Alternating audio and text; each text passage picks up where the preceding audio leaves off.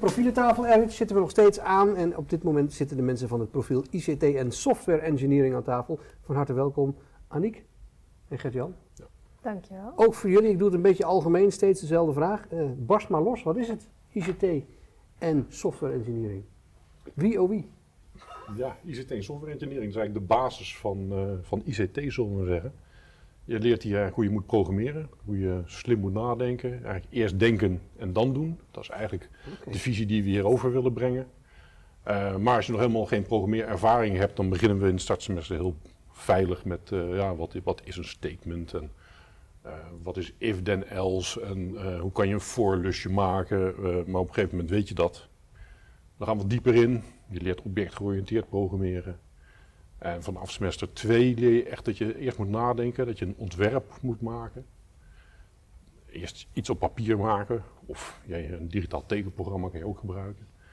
Ja, op het moment dat je daar eh, ervaring mee hebt en je gaat verder in het semester, dan eh, kan je zelfs nog leren eigen programma's te maken. Een eigen applicatie misschien, hè? of misschien iets voor je mobiele telefoon. eh. oké. Ja. Statements? Ja, ik weet If, niet. else dat is? Ja? Even, Hello World? Nee, Ja. Daar begin je mee, toch? Ja, dat, dat, dat, daar mag je mee beginnen. Maar eh, ja, de meesten die, die hebben dat al binnen vijf minuutjes door. Dus dat die gaan dan meteen door. Ja. ja, precies. Maar, en moet je dan die voorkennis hebben? Nee, of is dat niet. helemaal niet nodig? Moet niet. Nee. Nee, nee ik, heb, ik geef nu ook aan het startsemester lessen. En ik heb ook enkele studenten die inderdaad nog niet eerder geprogrammeerd hebben.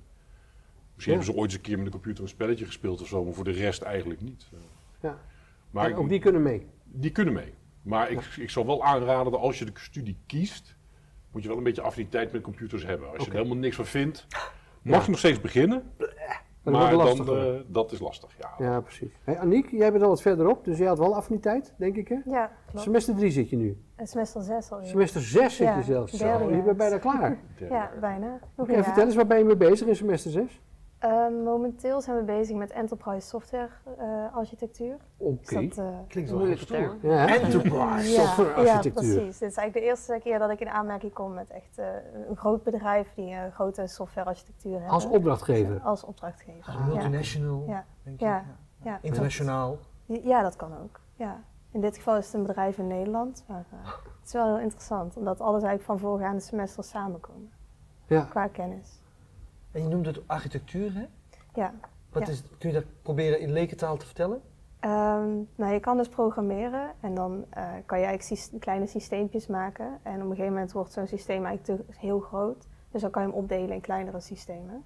En dan eh, wordt eigenlijk één architectuur die je samen gaat stellen. Dus dan moet je eerst modellen maken en eh, eerst bedenken wat je wil doen.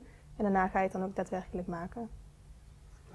Het klinkt wel als wel heel groot, hè? maar je begint volgens Ja. mij wat kleiner, denk ik. Ja, toch, je of niet? begint gelukkig In de wel lagere kleiner. semesters? Ja, klopt. Ja? Ja, ja. je begint inderdaad met eh, kleine programmeer, eh, programmeertaakjes eh, die je eigenlijk oppakt, individueel en ook als groep. Dus, eh, Kun je een voorbeeld noemen van een project die je, echt nog steeds, die je nog steeds leuk vindt? Die je eigenlijk nog een keer zou willen doen?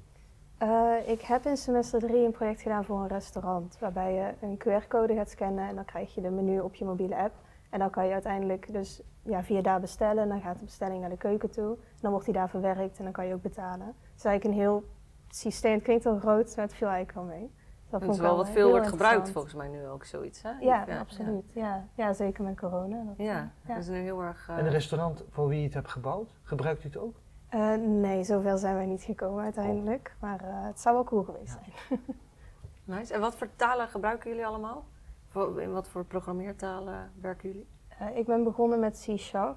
Eh, in semester 1 eh, begint eigenlijk iedereen daarmee, want het is wel makkelijk. En vervolgens komt, eh, kwam bij mij PHP erbij, eh, JavaScript, HTML, CSS voor websites. Eh, momenteel ga je daar eigenlijk mee door. Ja, ja. inderdaad. Die herkennen ja. Ja. Ja, dus je ben, ben je dan ook een beetje bezig met dat, dat stukje frontend, zoals we het net noemden, de mediadesign. Komt dat dan ook terug bij jullie? Dat komt ook terug, maar meestal vinden software engineers dat wat minder leuk om te doen, dus dat laten we bij media design. Oh. Maar dit is heel mooi, hè? We hebben elkaar nodig. Je kunt dus Ja. niet... Ja. Ja, eh, dus als software engineer heb, werk je samen met media, je werkt samen met business, je werkt samen met infrastructuur en andersom ook. Dus ja. ja, ik vond het ook heel leuk, want vanaf semester 4 kwamen die verschillende profielen ook bij elkaar.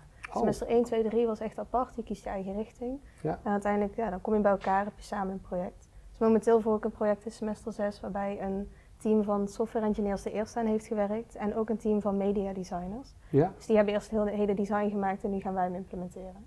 Dus dan is het ook Oké. heel leuk om te zien hoe zij dat hebben aangepakt. En fijn voor ons.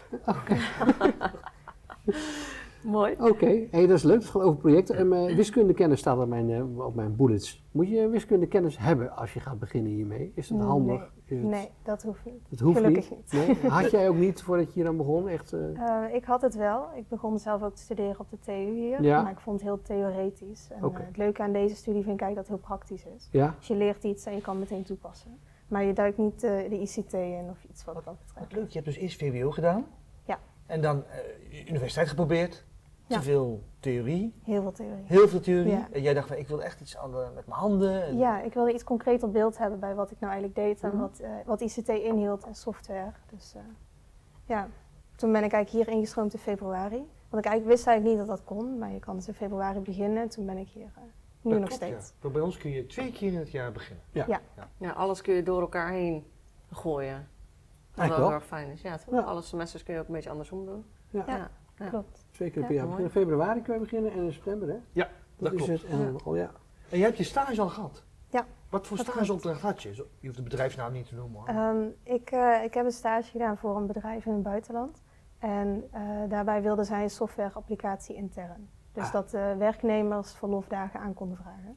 Dus ik begon eigenlijk vanaf het begin. En zo heb ik eigenlijk zelfstandig die hele opdracht eh, gebouwd. En uiteindelijk ook gepitcht aan het bedrijf. En eh, ja, zo, zodoende mijn stage al af. En, en werkt het uiteindelijk ook? Eh, was dat- Ja, het grootste deel wel. Ah, oké. Nog In- een paar in- dingen die we ja. moesten doen. Ja, je merkt wel dat al onze ICT'ers goed kunnen praten. Hè? Dat kunnen Ja, dat, vertellen. als je dat zo hoort, onvoorstelbaar, hè? Ja, is een allemaal zoekgroep uit om hier te komen. Oh, is dat het? Nee, dat, dat professionele ontwikkeling hoort ook eh, bij Ja. onze Ja. opleiding. Eh, dus presenteren is iets we, ja, dat krijg je gewoon met de paplepel in. Ja. Waarom dus, is dat belangrijk? Ehm, omdat je het eigenlijk altijd tegenkomt in, als je gewoon het bedrijfsleven ingaat, of als je het zelfs later nog na het bedrijfsleven docent wordt, Ja. moet je dat ook kunnen presenteren, je moet kunnen praten. Ja. Je moet jouw ideeën over kunnen brengen. En ehm, ja, ik denk dat misschien bij business moet je echt op een ander niveau praten. En dan moet je op, op het niveau van, van bedrijfsdirecteuren misschien wel bekijken wat ze nodig hebben. En software engineers is vaak onderling, maar je moet ook snappen wat de klant eh, wil hebben. En dat moet je kunnen weergeven. En je moet op een bepaald niveau praten, zodat de klant ook snapt wat je wil gaan maken. En jij moet ook kunnen nadenken over, ja, de klant zegt wel dit, maar wat bedoelt hij ermee? Dus je moet ook door kunnen vragen. En typisch is dat je, wat je ja, vanaf semester 3 en hoger krijg je dat, ehm, gaat dat een belangrijke rol spelen. Ja, we hebben heel vaak het woord semester gehoord. Hè? En misschien voor de, sommige kijkers. Semester is een half jaar. Ja. En semester drie, jij zit eigenlijk in het tweede jaar. Nu in het Oh ja, sorry. Ja, Semester ik- zes was Ja, er Sorry, sorry, dat was mijn fout. Semester zes. Jij zit in Ja. het la, eh, laatste jaar. Zit je. Eén na laatste. Eén na Ja. laatste. Ja. Ja. Ja, ik ben eh, mijn jaar drie aan het afronden. Dus 20 hier- en hierna ga je dan een minor doen, hè? Een minor. Ja, Ja, en waar ga je die klopt. doen? Of wat ga je doen? Ehm, ik ga die in het buitenland doen. In eh, Engeland is het plan. Ik weet nog niet welke vak ik daar wil gaan volgen, maar ik wil heel graag naar het buitenland toe. Oké. Ja, een minor is een half jaar vrij. Hè? Dan kun je, als het maar iets te maken heeft met ICT, maar dat kan ook. Ja. goed. Kan ook, kan Spaans niet zijn. Italiaans, Oh, ja, ja. Je mag juist Ja. niet te veel raakvlakken blijkbaar hebben, want je moet je verbreden. Ja. Ja. Ja. In ieder geval, eh, zo heb ik het gehoord. Ja, ja. ja. Cool. Ja, ik heb En- dan ook de kans om me te verdiepen in de software. Dat vond ik ook heel leuk. Oké. Ja, ik heb een vraag hier. Jij bent in februari begonnen, hè? Ja. Loop je dan achter op de mensen die in september zijn gestart? Nee, zeker niet. Nee, want je begint gewoon in semester 1. Dus die geven ze in september en in februari. Dus, eh, Ja, ik snap die verwarring van die vraag wel, hè? Want het is Ja. gewoon zo, je begint gewoon eigenlijk vanaf je eerste half jaar in februari. En als je in september begint, begin je dan. Ja. Ja, dus dan studeer je eigenlijk ook in januari af in plaats van in, het, eh, in juni volgens mij. Heel goed. Ik heb nog een, een, een bullet point hier staan. Het belang van software in onze samenleving. Ik je denk daar even iets samen- heel moois over zeggen, weet je wel? Dat we een goed gevoel krijgen. Ik denk dat onze samenleving niet meer zonder software kan. Ik denk, Nee, denk, denk dat we als mensheid eh, eh, teruggeworpen wordt naar ja, de industriële tijd. Ja, Waar je machines hebt die eh, nog misschien op stoom eh, draaiden, bij spreken. Dat, eh, en dan moest je hem zelf aanzwengelen. eh, ja, daar komt het een beetje op neer. Dus, eh, Kijk maar wat er gebeurt als internet eh, eruit ligt. Oh ja, dat moet ik even niet Dan aan weten we niet meer wat, Nee, wat, nee, wat doen we dan? Wat zijn wij hier ook klaar, Dan, ik. was het hier inderdaad, ja, dan konden wij stoppen. Ja.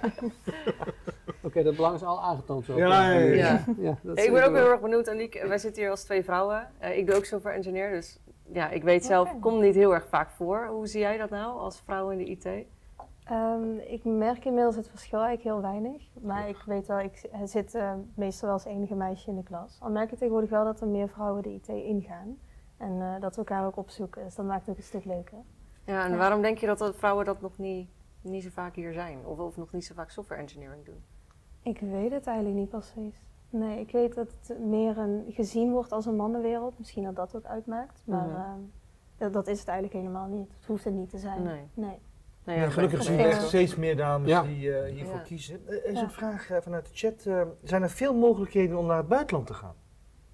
Ja, zeker. Je kunt een minor doen, je kunt een exchange doen. Ja, Stage. Je kunt Stage. en afstuderen in het buitenland. Dus enorm veel mogelijkheden. Ja, dus uiteindelijk heb je drie keer een half Ja. jaar dat je naar het buitenland zou kunnen. Ja. Als je Ja. zou willen, twee keer een stage en één keer je minor, dus je vrije half jaar. Ja. En je kunt zelfs een Erasmus Exchange programma doen. Dus vier keer als het kan. Dat wist ik Oh, niet. dat wist ik, nee, dat wist ik ook niet. Dat is weer, dat Daar hebben we. Edits voor hier. Ja, die kan Die weet zulke dingen. Ja, dus je kunt eh, heel veel landen afvinken als je dat zou willen. Ja, dat is wel heel gaaf. Maar je moet het zelf wel organiseren, hè? Je moet zelf wel erachteraan als je dat Ja. wilt, toch? We hebben wel partners. Tuurlijk we hebben wel partners. partners. en we kunnen je helpen, maar het is wel, je moet zelf eh, achter, ja, achter. Ja, Fontes heeft wel een study abroad Ja. ehm, vereniging waar je naartoe kan. En met, met docenten en andere studenten die je in contact brengen, die genoeg informatie geven. Maar uiteindelijk moet je wel zelf erachteraan gaan en contact leggen. Ja. En je kan ook buiten de partners van Fontes iets vinden. Dat kost wel iets meer tijd om het eh, goed te laten keuren, maar het is mogelijk. Nu ben ik ook wel benieuwd nog, wat is nou uiteindelijk een beroep wat je hiermee kunt worden? Goeie vraag. Ja, ik ben software engineer geworden, doorgegroeid naar software architect. Ja, wat houdt dat in? In de tijd, eh, een paar, ja, opa praat u bijna, ben ik begonnen na mijn studie eh, bij Philips.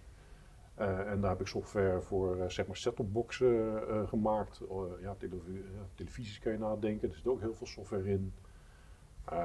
Maar waar we hier met name op leiden is voor studenten die in principe ook het bedrijfsleven in kunnen gaan. En dan krijg je bedrijfssystemen, eh, de enterprise software eh, waar Aniek het over heeft gehad.